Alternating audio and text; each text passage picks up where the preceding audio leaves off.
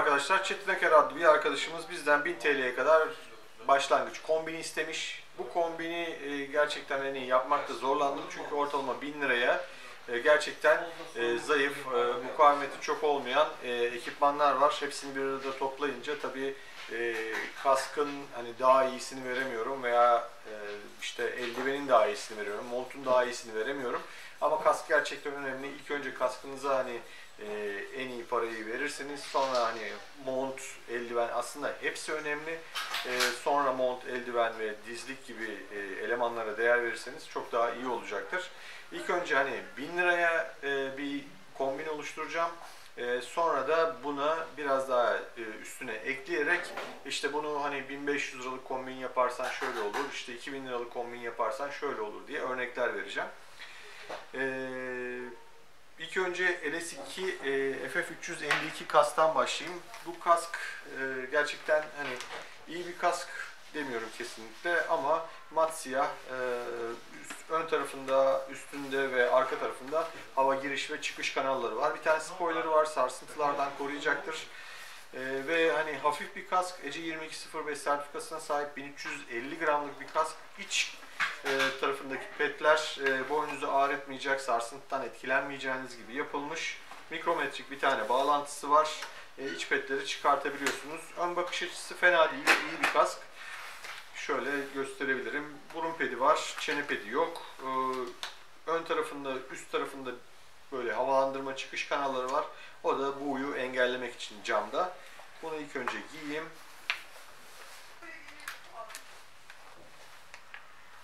Şöyle göstereyim.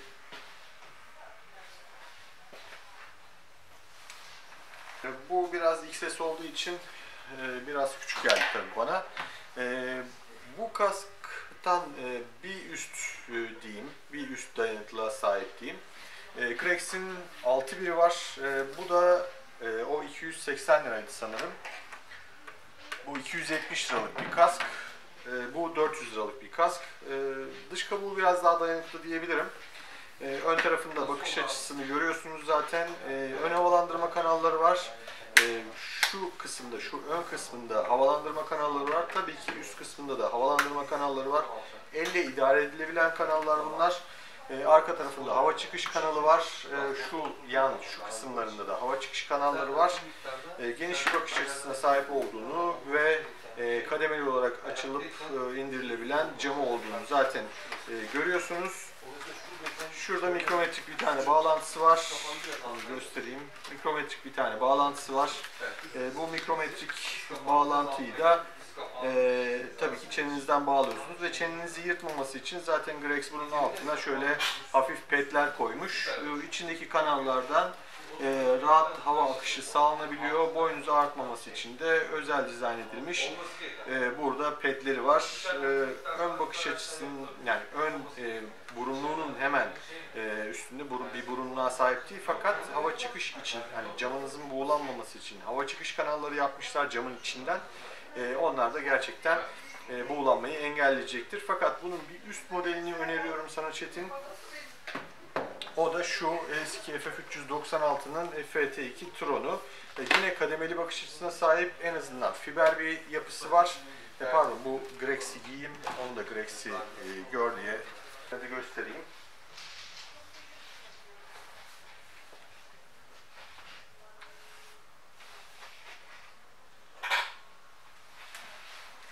Fiber bir alaşıma sahip bir yapısı var. Fiber kompozit bir yapısı var.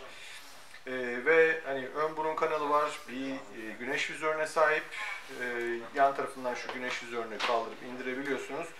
Büyük bir burunluğu var, ön havalandırma kanalı var. Ben de aynı zamanda bu kanal bunu hani bu kask kullandım. Ee, o yüzden hani e, tercihlerinize hani bu kaskla beraber de tabii düştüm. Ee, herhangi bir e, sorun çekmedim, herhangi bir e, hani e, kafamda bir ağrı hissetmedim. Bayağı da hızlı çarpmıştım aslında. Alt çene pedi var, mikrometrik bir bağlantısı var. Çene pedde bu e, kısımdaki pedleri çıkartabilirsiniz. Arka tarafından bakarak e, zaten bu arka tarafındaki havalandırma e, çıkış kanalını görüyorsunuz. Üst havalandırma kanalları var. Onlar da elle idare edilebiliyor. Ve ECE 2205 sertifikasına sahip 1450 gram bir kask. E, bunu da giyerek göstereyim. Güneş gözlüğü içeri camı da içerisinde var. Fiberglass. Evet.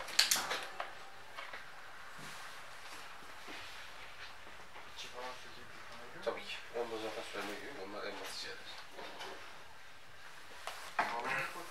Bunu da böyle tanıtmış olayım. Ee, şimdi liraya bir tane e, kombin ekipman toplayınca tabii şöyle bir şey oluyor. Ee, daha ucuz bir mont, daha ucuz bir eldiven, daha ucuz bir dizlik tanıtmak zorunda kalıyorum. O yüzden de hani e, bu başlangıç kombinini biraz daha e, yukarı çıkarabilirsen senin için daha iyi olacaktır.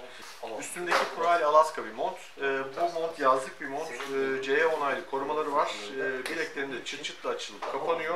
Kol ayarlaması var ve e, tamamı yaz için ayarlanmış. Yani e, bahar yazlık olarak geçiyor. Soğuk havalarda bu çok fazla işine yaramayacaktır. Yazlık modelleri tanıttığımız için de e, yani eğer kışlık bir mont istiyorsan linklere bakmanı tavsiye ediyorum. E, yan tarafında çift cebi var e, ve arka tarafında bir korumaya sahip. C onaylı korumaları hem omuzlarda hem dirseklerde var. Ve 1000 lirayı e, ortalama toplayabileceğim bu LS2 FF352 ile beraber 1000 lirayı bulabilen bir e, kombin. Bu 395 liralık bir mont. Ortalama 500 liraya Proel veya Venom'un daha iyi montlarını alabilirsin. 600 lira civarlarına çıktığın zaman da Rolef'in e, daha iyi bir montunu alabilirsin. Onların linklerini de ve görüntülerini de zaten paylaşacağım. Bir önceki tanıtımdan da zaten onları görebilirsin. E, bu kombinle beraber e, bu mafsallı dizliği gösteriyorum. E, bu e, UFO'nun ergonomik dizliği 35 euro yaklaşık 180 lira civarında olması lazım. Bir dizliği mafsal dizlik olduğu için her motorda kullanabilirsin. E, ve hani sürüş e, açını veya işte diz koyma açını bozmayacaktır. Çırt çırtlı açılıp kapanıyor. E, ve hani bu kombin içinde yine ortalama bir fiyata sahip yaklaşık 110 liralık bir eldiven sunuyorum. Bu da Proel'in bir eldiveni. Şöyle giyelim. ProSev'in M102 siyah sarı kışlık e, eldivenini bununla sunabilirim. E, yazlık bir eldiven daha sunacağım. Bu kışlık. Bunun için de kışlık, yani mont için de kışlık bir tane model sunacağım. E, onlara da bakmanı tavsiye ederim.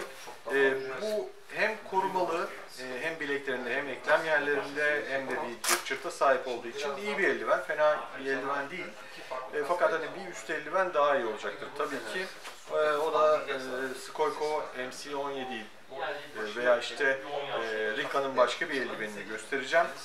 E, bu iyi bir eldiven, bilekli bir eldiven. Hem bileğinde hem e, bileğinin hem bitim ve başlangıç yerlerinde iki tane cırt cırtı var.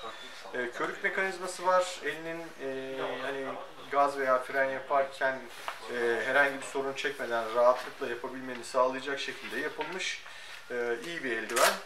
Biraz daha işte kışlıkta giyeceğim ben dersen e, Venom'un Eclipse modelini alabilirsin.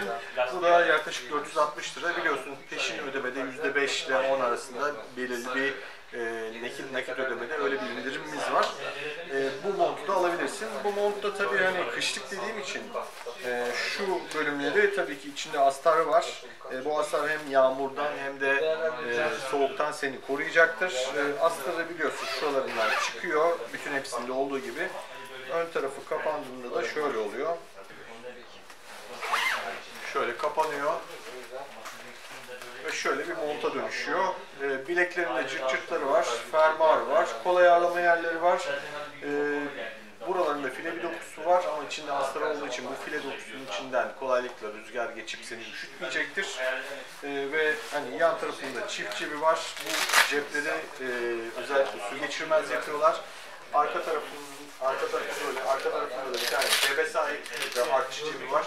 Artçı cebine de biliyorsun e, arka tarafındaki arkadaşın, arkada aldığın arkadaşın işte telefonunu, cüzdanını e, koyabiliyor, elindeki malzemeleri koyabiliyor. E, yüksek bir boynu var. Yüksek boynunun hemen e, şu kapanması için bir tane çıt çıtı var. İç tarafında bir sürü cebe sahip ve C onaylı e, dirsek, omuz ve sırt koruması var. E, arkasındaki sırt koruması bunun ince bir koruma istiyorsan hani e, biraz daha iyi bir koruma almak istiyorsan, çok daha iyi bir koruma almak istiyorsan e, Impact Tech korumalardan, sırt korumalarından alabilirsin. Bunu arkasına koyabilirsin. Videonun önceki bölümünde sana demiştim hani farklı seçenekler de sunacağım sana demiştim. Onlardan da alıp e, rahatlıkla kullanabilirsin. E, bu Five Gloss'un RS3 e, Mini. E, bu gerçekten hani iyi ve e, güzel bir eldiven. renkli bir eldiven. Bunun tabii bir sürü rengi var. Bunun linklerini zaten ekleyeceğim. Hem çırtı var hem bilek koruması var. E, hem yumruk korumaları var hem de e, eklem yerleri için ek yerleri var. E, iç tarafında da kaskın ön tarafını silebilirsin. E, 1000 liranın üstüne çıkarsan çok daha iyi bir kombin olacaktır. E, ve hani 1000 liranın üstüne çıktığında daha fazla e, koruma alacağın kıyafetler ve ekipmanlar seçebileceğine emin olabilirsin. Bu Fiberglass'un bir eldiveni RS3 Men diye geçiyor. Bunu göstermiş olayım hani o eldiveni ek olarak. Arada tabii ki fiyat farkları var. Onları linklerde belirtiyorum. Bu da Vexon'un bir eldiveni. Şöyle bu da e, deri ve kumaş alışımlardan oluşuyor. Bileğin çift tarafında korumaları var, e, eklem yeri korumaları var. Bu biraz daha yazlık bir eldiven. Hani hem kışlık hem yazlık olarak farklı farklı belirtiyorum ki seçenekleri tamamen sana bırakıyorum. E, kök mekanizmaları var, baş parmak koruması var ve şöyle çıt çıtla kapanıyor. Şöyle bir eldiven oluyor. E, ve bu eklem yerlerinin hemen altında, korumalarının da hemen bitiminde e, özellikle havalandırma kanalları var. Bu havalandırma kanalları da elinin ferah e, kalmasını, rahat bir kullanım e, sunmasını sağlıyor. Bu kombinde Çetin arkadaşımıza işte ortalama 1000 lira ve biraz daha üstü e, bir kombin yapıp e, ona en iyi ekipmanı sağlamaya çalıştım. E, umarım faydalı olmuştur. Hepinize iyi sürüşler.